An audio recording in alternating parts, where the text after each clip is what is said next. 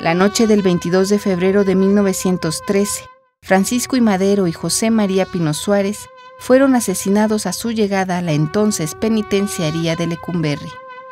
Dos disparos terminaron con la vida de quien había sido presidente y trece con la del vicepresidente.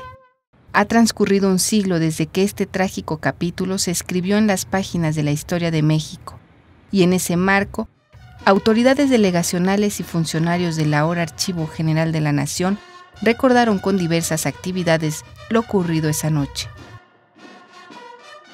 con una ceremonia solemne, autoridades de las delegaciones Venustiano Carranza e Iztacalco, acompañados de legisladores perredistas y líderes de partidos políticos, develaron una placa conmemorativa en el lugar donde Madero y Pino Suárez cayeron muertos justo detrás de Lecumberri. En este momento, señoras y señores, ahí vemos que ha quedado develada esta placa.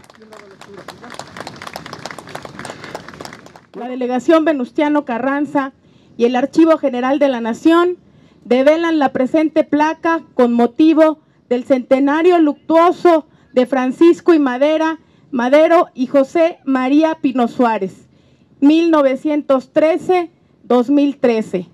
Por su parte, la directora del Archivo General de la Nación, Aurora Gómez, con personalidades de la vida política y cultural del país, inauguró la exposición Un siglo sin Madero.